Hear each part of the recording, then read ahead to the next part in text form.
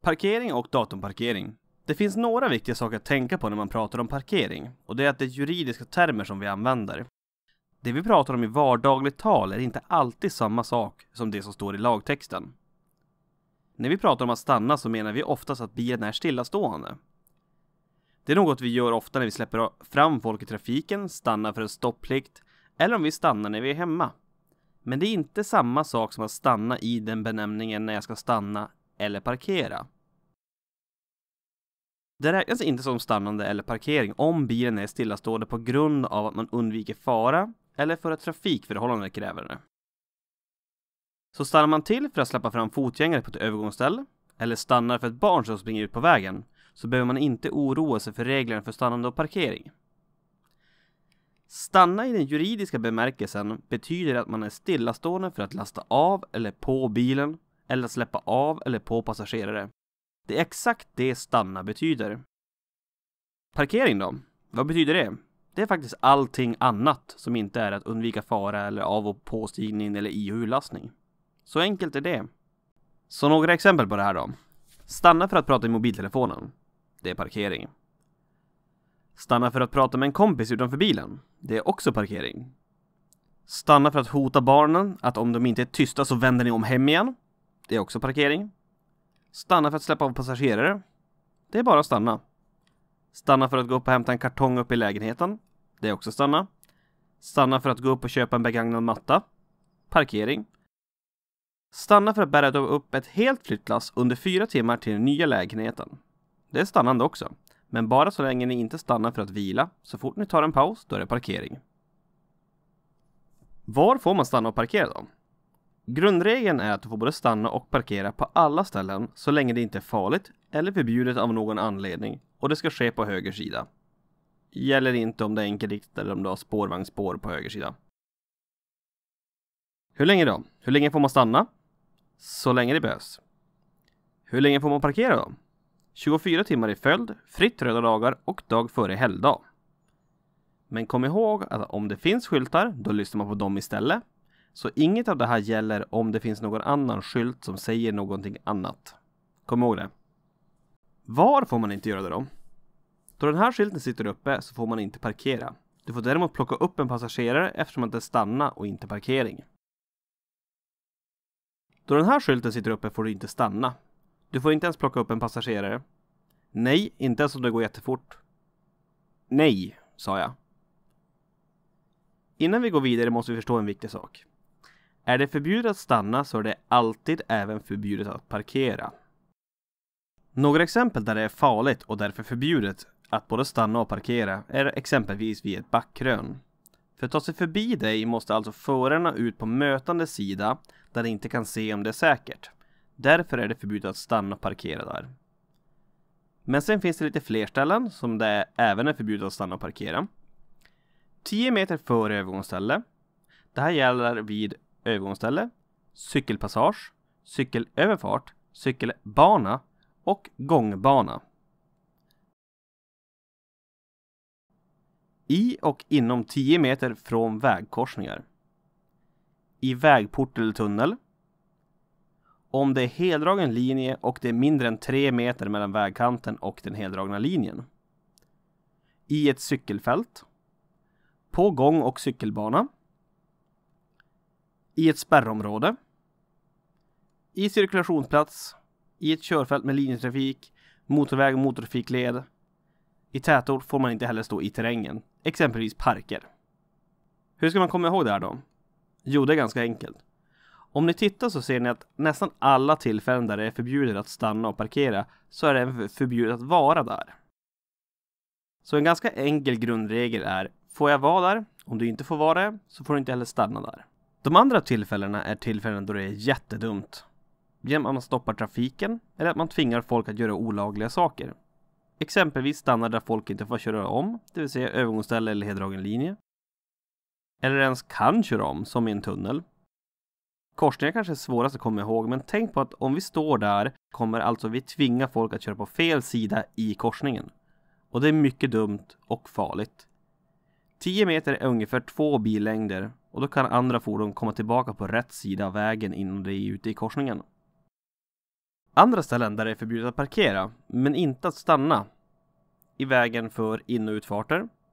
På en huvudled. Dubbelparkering, även till exempel containrar eller liknande. På gågata eller gångfartsområde. Mötesplats. Bussplats. 30 meter före och efter en plankorsning. Det är det formella namnet på en järnväg. Vet ni förresten varför det är just 30 meter? Det är för att det längsta ett fordon får vara med släp i Sverige är 25,25 meter. 30 meter gör så att så stora fordon, till exempel långtradare, kan stanna utan att riskera att stanna på spåret. Hur ska man komma ihåg det här då? Samma som förbud att stanna, det vill säga där vi kommer att vara i vägen, men i det här fallet är det främst för att det är onödigt svårt istället för att det är farligt. Huvudled är egentligen det enda undantaget från den grundregeln, så den kan vara värd att memorera. Nu när vi förstår de grundläggande reglerna så brukar det bli lättare att förstå hur reglerna för parkering fungerar generellt sett. Det här är en helt vanlig gata. Det finns inget som förbjuder oss, så här får vi både stanna och parkera. Vi får stå här 24 timmar vardagar övrig tid fritt. Det här är en vanlig gata. Här får vi stå så länge det inte är mer än 10 meter innan övergångsstället. Det här är en vanlig gata, så här får vi stå. Så länge det är mer än 10 meter innan övergångsstället. Men vi får inte stå i och 10 meter före och efter en korsning också. Det här är en vanlig gata, så här får vi stå. Däremot så får vi inte stanna och parkera 10 meter före övergångsstället. 10 meter före och efter och i korsningen och inte parkera för infarten. Så här får ni se var vi får stå någonstans. Här är det huvudled. På en huvudled får jag inte parkera, men jag får stanna. Så här får jag lasta i och ur bilen eller lämna passagerare. Men inte mer än så. Kanske det är längre fram. Här är det också huvudled, så här är det parkeringsförbud. Men här finns det en annan skylt som visar att det här är ett undantag från parkeringsförbudet. Så här får jag parkera. Här är det normalt ett parkeringsförbud. Men den här visar ett undantag med den här parkeringsskylten. Men det finns en korsning också. Och det är förbud att både stanna och parkera 10 meter före, i och efter korsningen. Det innebär att jag får parkera fram till 10 meter innan korsningen. Nu ska vi ta och titta lite grann på tidsangivelserna. En vanlig parkering utan något som helst speciellt så är det 24 timmar vardagar, övrig tid fritt. Det är alltså dag före helgdag och söndag och helgdag. På det här exemplet så är det en helt vanlig gata så här får vi stå i 24 timmar under vardagar. I samband med helgen så får vi stå här hur länge vi vill. Det innebär att om vi parkerar här på söndag så börjar tiden först räknas så fort det blir måndag. Det vill säga det börjar 24 timmar från att klockan blir 00.00 på måndag. Så det betyder att 24 timmar efter det, tisdag måste vi alltså hämta bilen som senast. Samma sak gäller om det är lördag. Då måste vi också hämta bilen innan tisdag. Men eh, vänta här nu. Så om vi kommer hit torsdag natt, precis innan klockan slår midnatt och det blir fredag. Då får vi stå här hela fredagen 24 timmar. Sen skulle vi behöva flytta bilen, men det är lördag. Sen är det söndag. Och sen börjar de räkna 24 timmar igen.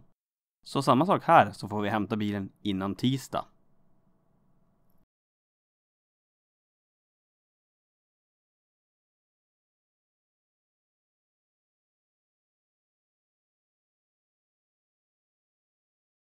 Nu ska vi ta och titta på lite exempel på tidsangivelser.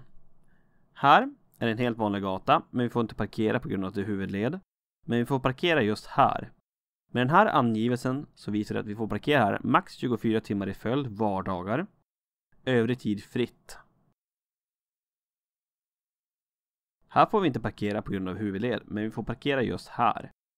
Men med den här angivelsen så läser man den så här. Parkeringsförbud, men parkering är tillåtet och det gäller mellan 8 till 20 vardagar. All övrig tid så faller vi tillbaka på parkeringsförbudet.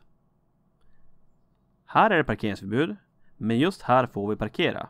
Men det kostar, mellan 8 till 20 på vardagar. Här är tidsangivelsen för avgiften, inte för parkeringen. Det kan man se i och med att de är samma lilla ruta. Här är det parkeringsförbud, men just här får vi parkera. Men det kostar. Och parkering är endast tillåtet mellan 8 till 20 vardagar. Övrig tid så återgår vi till grunden, det vill säga parkeringsförbud. Här är det parkeringsförbud, men vi får parkera längs med gatan men endast två timmar i sträck vardagar mellan 8 till 17. Övrig tid är det ingen begränsning. Det innebär att tiden börjar räknas endast under de här tiderna. Som längst, på vardagar, så får du stå där från klockan 15. Två timmar till 17, sen är det fritt. Sen börjar räknas igen från klockan 8 dagen efter. Så vardagar kan man stå som längst från klockan 15 till klockan 10 dagen efter.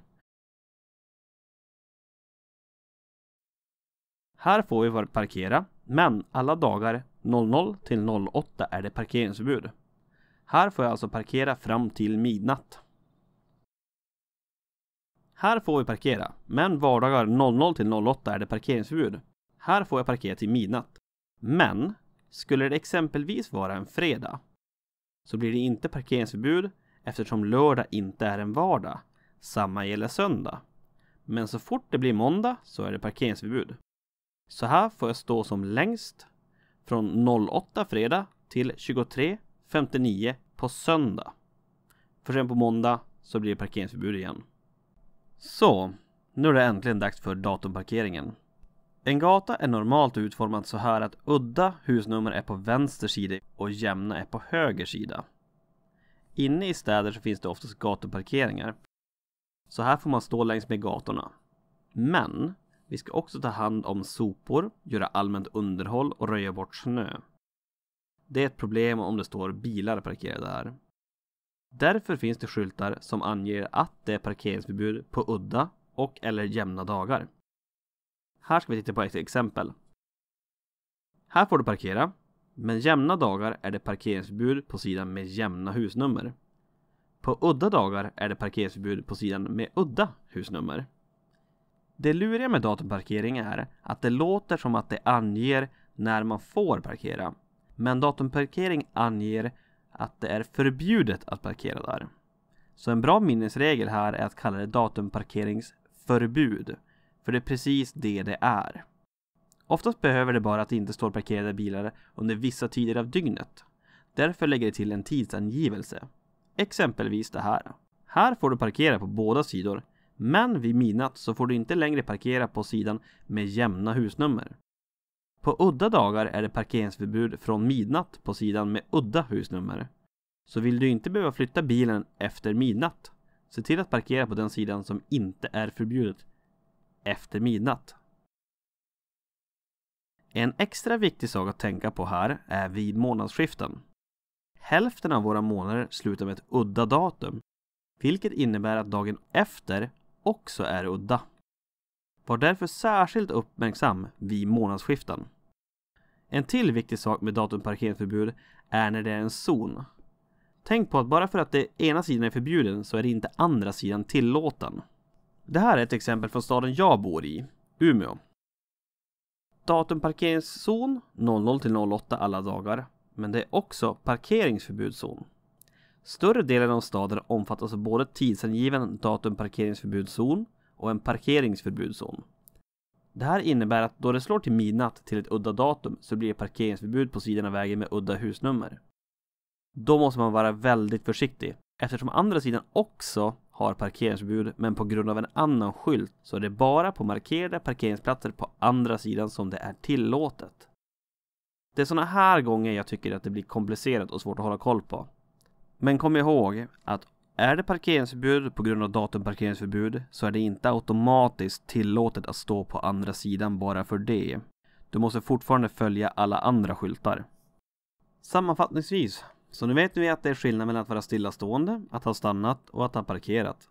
Ni vet också att normalt sett får man stanna och parkera överallt. Men nu vet ni också att det finns en massa tillfällen där det kan bli farligt och ni kan vara i vägen väldigt mycket. Och då vet ni att de tillfällena så får man inte stanna eller parkera.